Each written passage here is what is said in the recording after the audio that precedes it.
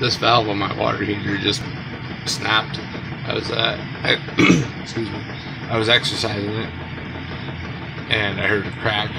Of course, it cracked, and it was like in the closed position, so, so the handle was flopping back and forth. You know. So I had to replace that to get my hot water and back on. Know, I, I exercise it, you know, on a fairly regular basis, so I'm a little bit surprised it's to a really cheap valve. So I'm gonna put a uh, equally cheap one in there. It was in my drawer. Threaded this time though, maybe maybe I over soldered it or something. I don't. I don't think so because it worked fine before.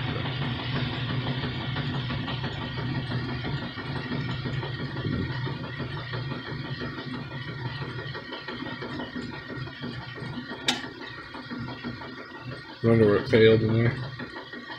I assume the solder valve has the same construction.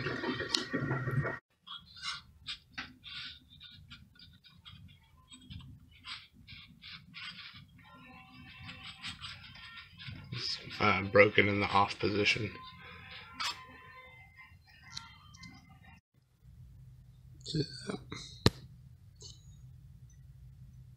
Snapped right shut.